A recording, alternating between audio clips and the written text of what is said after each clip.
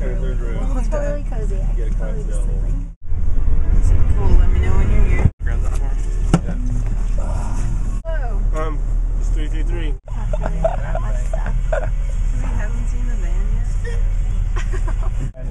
If anybody will hit me.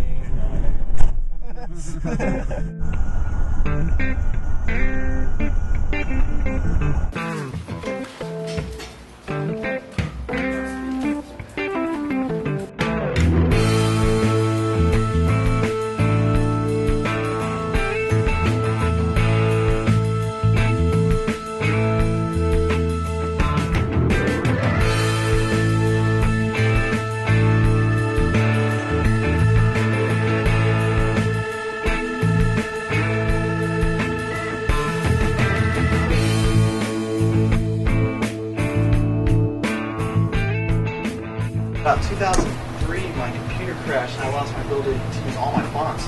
And it was the best thing that ever happened because I was kind of moving towards all hand done stuff. And so losing the ability to have that crutch, slap something on there, like that was a great thing for me. Do you feel like it's a commitment, or do you feel like it's more of a love? I mean, it doesn't. I don't. When I'm standing here, I don't feel like any of this feels labored. I feel like all of this is enjoyed and like an experience. Am I right? Or You Or can tell when something's labor. Um, exactly.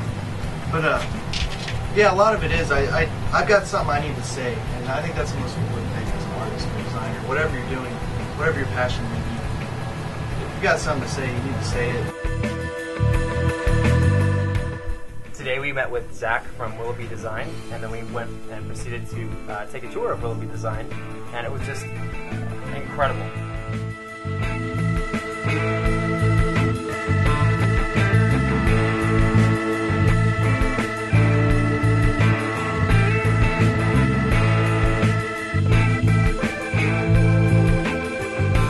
Sounds like a great road trip. you having a good time? Yeah. Oh, wonderful. I love what you're doing. That's just terrific.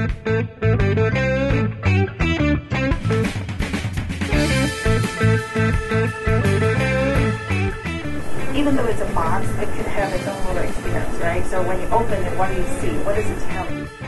And then, like your internship, it's been, you know, we thought we were, she was going to come in and work on X, Y, and Z, and she's worked on A to Z.